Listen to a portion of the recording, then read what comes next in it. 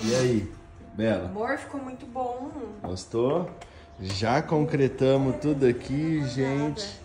A Canjiquinha já tá acordada. A Ilha da Bela já tá quase. Já tá quase saindo. Já escolhemos o granito, a pedra. Já. Não vai ser porcelanato, vai ser granito. Vai ser granito.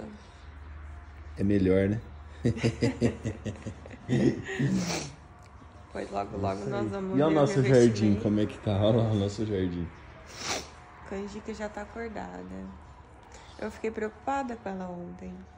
Por quê? Ai, porque ele estava. Eu acho que ela já fez amizade com os meninos. Aham. E ele estava fazendo cimento e ela estava assim, né? Tava andando, né? Meio, né? O bom é que vai ficar as patinhas dela, tudo aí, ó. Falei, não, e se machucar a patinha dela? E eles falaram que tinha poça d'água que ela tava tirando, lavando, passando por cima de tudo. Ela é que nem a Savana, mano. Aí tá lá, ela já vem passando, é, dona da casa. Mas a savana não pisa, né?